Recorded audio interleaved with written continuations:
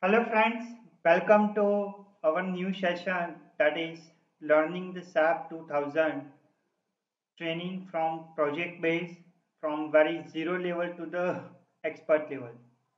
Now in this training session I will cover RCC building, designing as well as modeling as well as analysis and what are the core concepts which will keep in mind while designing, modeling and analysis though our RCC building in SAP 2000.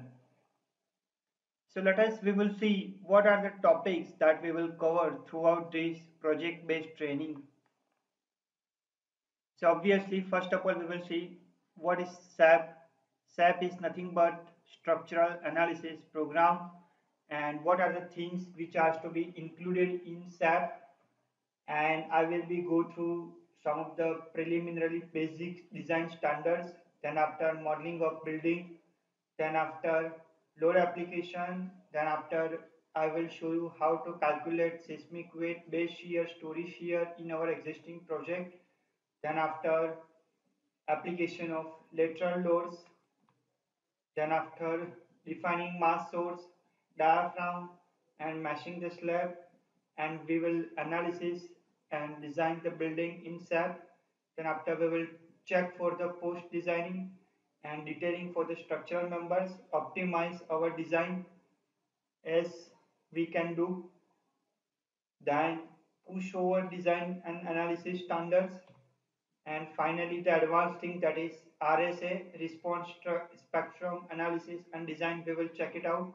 Time history analysis, we will check it out and finally we will see the design of the slab. So these are the main major topics that we will cover throughout this training.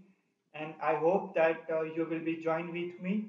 And I throughout this training I will be use the Indian standard code that is IS 456 2000 and uh, if you are belong with other country then you can follow the as follow the code as per your country standards but the procedure will be remain same.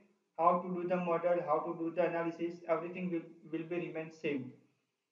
So without uh, wasting the time let us we will start our training. That first topic that is the introduction to the SAP 2000 SAP 2000 is nothing but structural analysis program. So before I will be jump into the SAP 2000, I will be show you one small presentation that what is SAP 2000 and how it will be helpful for us in order to get started with the SAP 2000. So we will meet on the next video. Thank you so much.